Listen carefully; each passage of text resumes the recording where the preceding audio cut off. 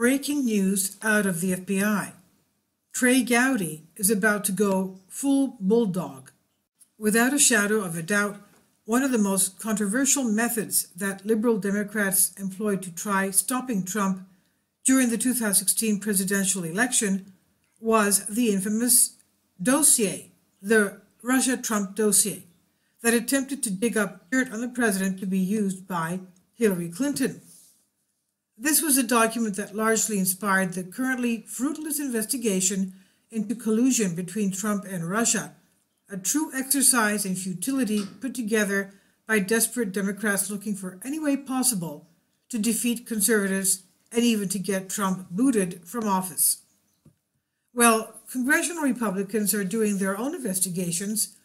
The Congress, that is, is uh, investigating into the dossier, and according to Fox News, Deputy FBI Director Andrew McCabe was grilled for a whopping seven hours, with his testimony determined to contain, listen to this, multiple conflicts with the testimony given by previous witnesses. So somebody's lying, and it looks like it's McCabe. This has resulted in a brand spanking new round of subpoenas to be issued for FBI personnel and other Justice Department workers. You can bet Republican Representative Trey Gowdy is just chomping at the bit to get a hold of these guys. Here's Fox News with more details. This is what they report.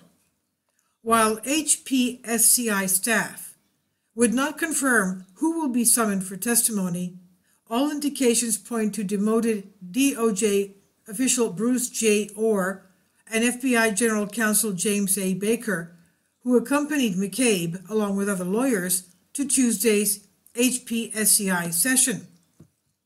The issuance of a subpoena against the Justice Department's top lawyer could provoke a new constitutional clash between the two branches.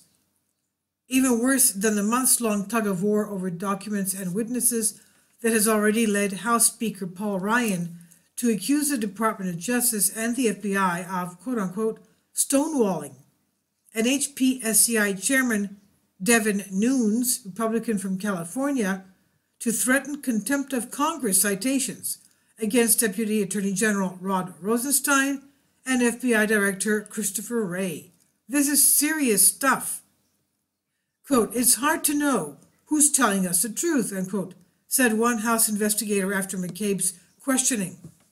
Fox News is told that several lawmakers participated in the questioning of McCabe, led chiefly by Representative Trey Gowdy, Republican from South Carolina. Sources who were close to the investigation stated that McCabe was a quote unquote friendly witness to the Democrats present who were trying hard to get him to help build a case against Trump for obstruction of justice in the Russian probe, but they ultimately failed. McCabe insisted that he and the Bureau worked diligently to verify the information contained in the Trump dossier and argued to uphold its integrity. However, when he was asked to provide information on what he had been corroborating in the documents, what had been corroborated in this document, McCabe only cited the fact that Carter Page, Trump's campaign advisor, had traveled to Moscow. Okay, so so he traveled to Moscow. So what? Apparently, the Bureau could not even verify the dossier's allegations about the meetings that supposedly went down in Moscow.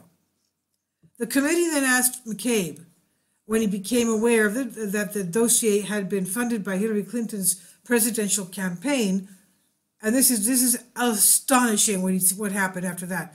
To which he conveniently answered he could not recall, quote unquote. I can't recall. When did you find out that Hillary Clinton was paying for the dossier, funding it? And McCabe said, McCabe says, I cannot recall. This is kind of strange given there are actual documents with McCabe's signature on them that clearly establish the fact he knew of the documents financing. This is no doubt just the tip of the iceberg, as the corruption of the Democratic Party and that of the former administration Obama, is just now coming to light. No doubt this really, really runs very deep. It's going to be a super entertaining thing to watch Gowdy sink his teeth into these guys, uncovering the truth these dirty folk want to keep buried. You know, what happens when people start lying, they forget the logic behind how they structure their lie. They'll, they will get caught. This is on American Freedom Fighters.